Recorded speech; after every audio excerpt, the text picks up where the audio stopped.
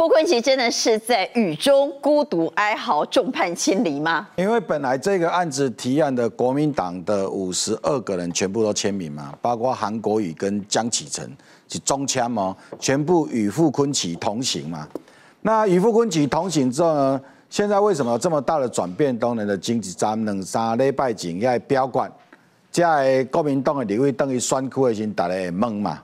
所以现在每一个人都想说，哇，今晚哪个乌这条花东三法对于个人的形象没啥好。所以各位要记得那个时间序，六月一号傅昆奇人在花莲，直接跟花莲乡亲讲说，七月十六号这三法一定要过。六月一号是六月二号早上八点十五分哦。六月一号是拜六，对，六月二号礼拜早上八点十五分，由洪孟凯。召开党团干部会议，没有傅昆萁。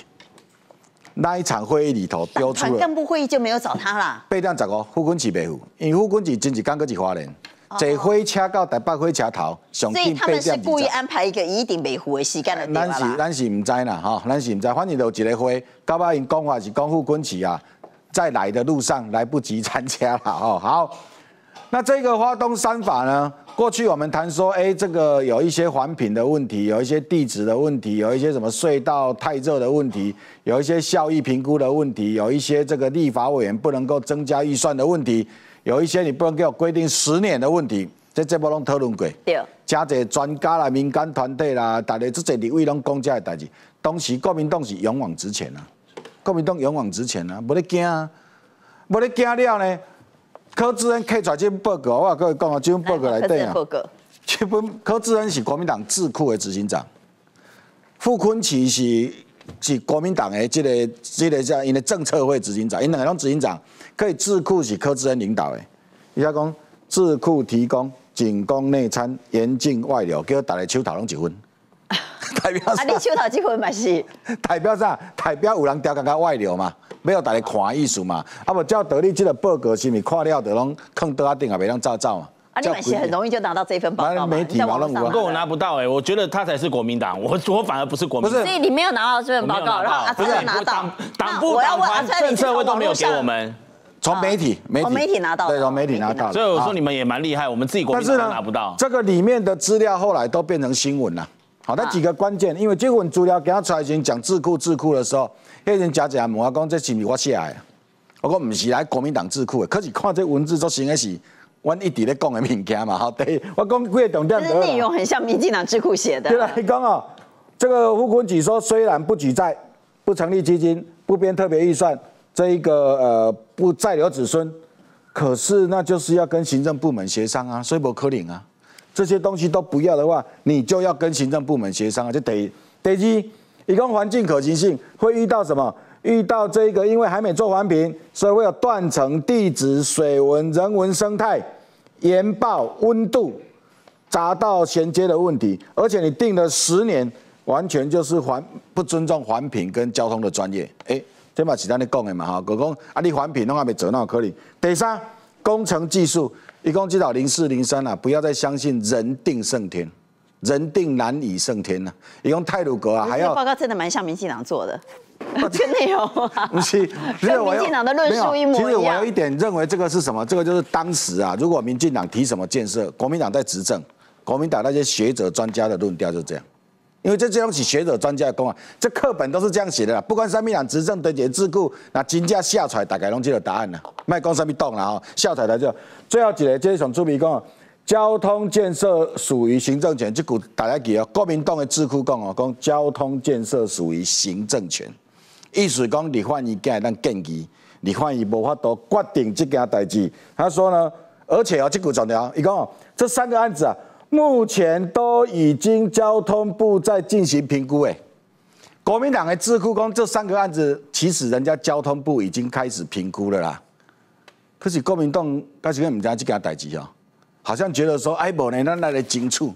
我跟你讲，这种事情很专业。今天柯文哲也讲话了，柯文哲跟花东快可以支持。嗯，高铁啊，环岛高铁那是天马行空，天马行空，天马行空哈。因为家己的迄个立位啊，应该的立委讲，高铁为什么不能环岛？BOT 可以做啊，张启凯啊，BOT 摆就可以做啊，为什么不可以做？给他去柯文哲讲天马行空，因为张启凯、傅昆萁这个案不是，开始但是张启凯的说法是照傅昆萁的说法 copy 的啦。对啦，伊就挺傅昆萁的说法了，对啦。哦他以为也讲法跟傅昆萁一模一样啊，。因为这个案哦，除了国民党提议外，黄国昌有提起了修正动议，这两个党的党团有提修正动议，一直在那个调集院会呀，无撸入去就对了。好，那这个案来对呢，他们调整完的修正动议啊，交即马国民党智库做的嘛无共啊，所以黄国昌交张启凯因本来是小挺傅昆旗的。嘿，今晚发现讲苗头内讧啊。对了，柯文哲跟他出来定调，讲花东快可以支持，但是那个高铁是天马行空，花东快花东快打动机器啊，可行性研究今年八月底会出来啊，是会交到交通部了，后续要审查，可能九月十月才会开始审查。对那这个案子就按照程序走下去，才是这个国民党智库讲的顺序，这个才是对的啦。对，啊，突然，我就萌姐了哈。那么柯文哲定调完之后，黄国昌有反应吗？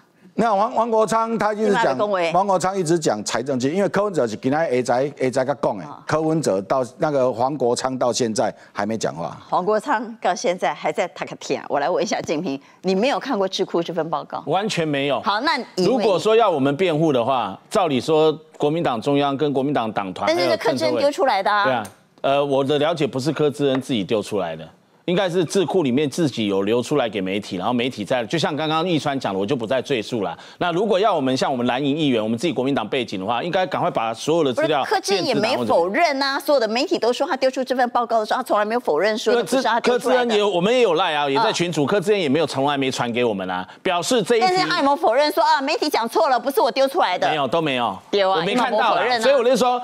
我没有说易川川哥那个这个报告是假的，但是智库做的报告表示他是实话实说。那为什么不让我们主动的有掌握这些资料？因为我们没办法讲嘛，没有办法去帮他在。但是在这个立场上，很多的国民党立委，包括鲁明，就是你们不愿意把真相说出来。不是不愿意把国民党这样做也不的。国民党智库实话实说做了一份完整的报告，包括刚刚讲的你们呢？和工程技术，这个跟民生有关的这么重大的那就表示，这些东西可能不希望我们主动去谈啊，不要我们去碰啊，不要我们去碰，那傅昆萁他就一路挨打啊，他就我因为我们没东没资料没东西怎么讲，那变成可是我们要自己打电话问，像你刚刚讲的那个补充，我补充啊，我是自己打电话问，我没有手边资料，我一份资料都没有哦，我一页资料都没有，我才讲我才生气。但是呢，为什么我我自己因为我要上节目，我总要打电话去查证吧，我总会问智库的人员吧。他还跟我说里面有那个一百七十四公里是交通部曾经做了一个评估报告，花东快有一百七十四公里那么长，里面会经过十一个原住民部落，其中有很多地质敏感区。那这十一个部落里面呢，还有包括这个花东纵谷知名的这个国际的景点，然后再加上零四零三的地震发生了之后，很多工程跟地质敏感区，我们没有把握会怎么样再经过探勘跟环境评估跟环差的影响等等，还有财务的这个技术。然后当时说这个建设啊，如果你要立专法的话，嗯强调这个建设要十年，一定要十年内完成，这个是前提。立专法要求要通过这个建设的法案的话，十年内完成。你就算从今年二零二四年开始到十年后二零三四年，十年怎么可能啊？你光是做评估，专是做流程，而且超过二十个环团这个环境团体他们在反对，十年你可能你完成吗？你根本不可能。所以智库不给你们，是不是因为一旦给你们，等于是打脸傅昆萁？是啊。而且里面是根本就老实数啊，根本就吃了豆沙包、啊。所以智库是老实数，但智库又不给其他的党籍呢，是因为不给他们其他的议员或委员，是智库因为不能自己私下给我们，要执行长柯志恩或者是里面的这些党那怕打脸傅昆萁嘛不是他不是打脸傅昆萁，这不是打脸傅昆萁，他打脸的是有签名的那五十二个国民党立委提案的哦，这五十二个是提案的哦。所以，黄金平一定不会收到的嘛。不，这五十二个是提案进到立法院里头的程序了哦，而且在委员会，这案子不是说提进来就要表决哦，嗯。他在委员会讨论过，哎，在交通委员会讨论过，哎。阿川帮你麻烦把那个板子再立一下哈，你有没有那你看到？copy 给他好了啦，对你 copy 给我好不好？那个严禁他要不到，我们给他一份啊。严禁外流啊！好，你们看严禁外流，包括我们自己国民党的议员跟民意代表，严禁外流，包括党籍的民代都不能拿到。智库如果是不是很讽刺？智库如果给国等一下麻烦印一份给我啊智库给国民党的话，就是给傅昆萁难看。我就说打脸傅昆萁啊，对对，但是阿川可是阿川不是只是不小心拿到，这个就没差。打脸那五十二位立委。昨天晚上媒体就已经有这对啊，份媒体拿到的话就不算打脸傅昆萁。对，这是媒体拿到的。总之呢，这份报告的内容一旦曝光，或者是由国民党党党籍，不管是议员还是立委讲出来，那就是在打脸傅昆奇，所以他们都不会收到的啦。朗东，所以华东三法现在已经胎死腹中了吗？看起来，我觉得是说傅昆奇要努力坚持下去啊，因为你要鼓励他努力坚持下去。众人皆醉我独醒。我觉得你这样有点居心叵测。当年莱特兄弟也是被唱衰，然后媒体就下标说是 fire or liar，就怀疑说根本不可能在天空上飞嘛。傅昆奇就像当年莱特兄弟，又像是伽伽利略一样，讲出太阳是宇宙中心就被教廷所批判。所以我希望副总召能够好好的坚持下去了。毕竟这份报告也没有在国民党内部公开嘛，就表示国民党内部可能也没有形成共识。我是觉得副总召既然觉得啊这个花东三法啊打穿中央山脉哦，然后要就是什么，就说 BOT 政府都不用花钱，这么好的一个政策，他不坚持真的是太可惜了。不要让昆仑山上的小草孤单哦，希望蓝营的这个人哦不要再跳船，全部人一起去挺傅昆萁。哦，非常认真的在讲这件事情。总招任期有限了，其实这个案子，职务永远在，人不是会变的啦。朗东真的是居心叵测，你知道吗？我讲一下，因为这个案子，傅昆萁昨天一直强调这是 BOT，对吧？他讲很多遍。所以你觉得他有没有要退？好，现在有没有要退？要提 BOT，不用立法，只要厂商写完报告送到交通部，说我民间要参与，因为政府不用出钱，政府不用出钱，那交通部就审嘛。任何人都可以想要 BOT 哦，他就自提，那叫做厂商自提 BOT 他根本不用修法，不用，就傅昆萁只要找到那个他口中的那个很厉害的厂商，写了一本 BOT 的报告，送进交通部，交通部就会启动审议。那你认为傅昆萁是不懂呢，还是拿 BOT 当下台阶？也就是说，刚开始他推华东三法，大概被骂翻了，就说哦什么前坑法案。二点五兆等等，他为了给自己下台阶，就找了一个 BOT，还是他从头到尾就不懂，不知道 BOT 不用修法？